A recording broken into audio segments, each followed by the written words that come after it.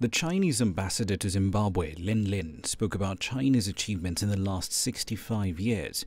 He stressed that even though there have been many and remarkable, China remains a developing nation that will stand with other developing nations.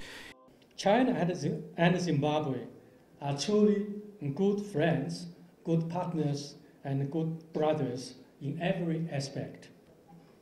On the political arena, this close worldwide friendship has brought about the state visit to China by His Excellency President R.G. Mugabe last month.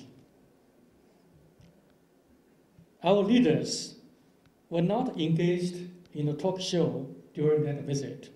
Instead, they held fruitful meetings to promote both political mutual trust and practical economic and technological cooperation and oversaw the signing of nine cooperation documents of duty.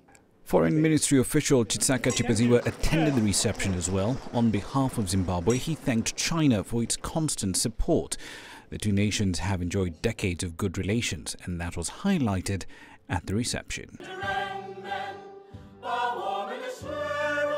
The choir of the Confucius Institute at the University of Zimbabwe sang the national anthems of both countries, all in the spirit of the reception's broad theme China and Zimbabwe.